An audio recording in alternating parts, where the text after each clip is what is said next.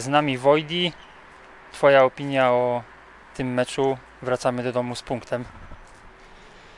E, No punkt cieszy to, że wy- wyszarpaliśmy ten remis, bo graliśmy jeszcze końcówkę w 10. Myślę, że pierwsza połowa, początek, początek spotkania e, bardzo nerwowy. Widać, że w głowach, w głowach brakuje, brakowało nam tej pewności. I po stracie bramki e, no, nie mieliśmy nic do stracenia i zaczęliśmy trochę, trochę więcej operować piłką, od tyłu rozgrywać i przełożyło się to na to, że że moim zdaniem przejęliśmy inicjatywę na boisku i druga połowa zaczęliśmy z dużym animuszem, bo e, już na samym początku mieliśmy dwie sytuacje.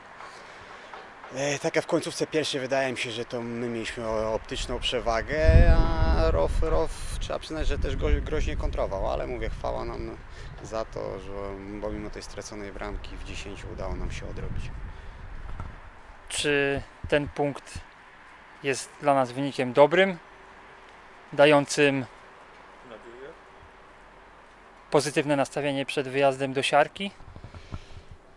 E, Od dwóch spotkań nie przegraliśmy, i, ale mówię, cały czas nam tego zwycięstwa gdzieś brakuje. Mówię, dramatyczny wynik, bo jakbyśmy przegrali te spotkanie, bo Rybnik by nam odjechał na 5 punktów, a tak cały czas mamy z nimi kontakt, więc mówię, stare takie powiedzenie jest, jak się nie da meczu wygrać, to trzeba, trzeba go zremisować i mówię, mówię, cały czas mamy ten kontakt z, tą, e, z tym dołem, żeby wyciągnąć się z tej strefy spadkowej i mówię, no jedziemy dalej.